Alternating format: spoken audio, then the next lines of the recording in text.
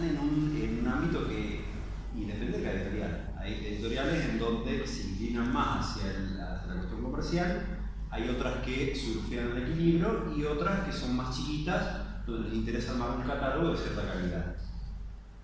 Uno como escritor tiene que más o menos conocer los catálogos editoriales para saber a quién tocar la puerta. Entonces uno va a tocar la puerta de editorial que publica real y a ver si volvemos mañana. Pero si vos más o menos te reconoces en ciertas editoriales que publican lo que a vos te gusta, escribir o algo, quizás entras en ese catálogo.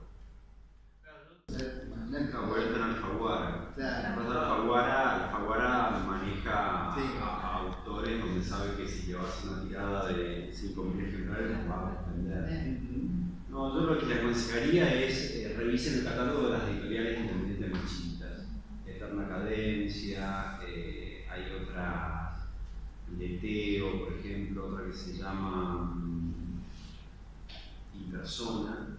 Todas esas están publicando hoy escritores jóvenes contemporáneos y eso está bueno para ver cómo, cómo se está escribiendo hoy. Porque Eso, es como poner editoriales independientes, aparecen y empezar a, a, a ver, revisar, comprarte uno en particular, empezar a ver suplementos culturales, todo te va dando data de lo que está escribiendo hoy. Una, una cosita, ¿sí ¿sabés que, porque yo me esta mañana una movida que hay a nivel nacional, para mañana creo que, que las editoriales que hacen, eh, que regalan libros por un- una especie de reclamo por el hecho de, de, digamos, de lo que ha pasado con la industria editorial en la Argentina en el último tiempo.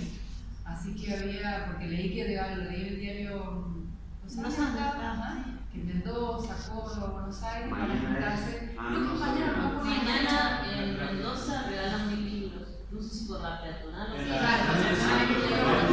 puntos, estratégicos de, de las grandes ciudades, que con editoriales que convocan en grandes ciudades, para regalar libros por una cuestión de. para proteger la industria nacional. Sí, porque hay una crisis en esto de la, de la industria nacional, digamos, Sí. editorial.